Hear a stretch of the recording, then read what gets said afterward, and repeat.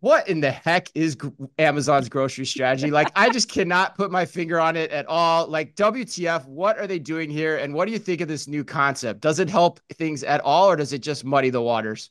Yeah, let's add another uh, banner under the grocery uh, experiments that are happening right now with Amazon.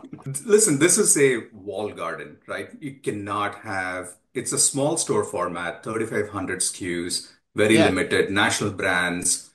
Y- The the they do not allow the customer to go and transact between the two. Uh, They cannot, you know, have one single cart that that moves up and down. So from a it is going to be a wall garden because the private labels they cannot place it. They cannot increase the penetration of their own products. They have to rely on trade funds and everything that's coming from the national brands to fund their marketing expense for this particular channel, which is quite expensive, shall I say. The name of the game here is convenience, right? Looking at the age group of about 25 to 35 people living in the cities with an income of 80 to 120K who just need to go and buy or get that one small item that they forgot to get, whether it's Coke or it's a packed sandwich. That's a convenience thing play here.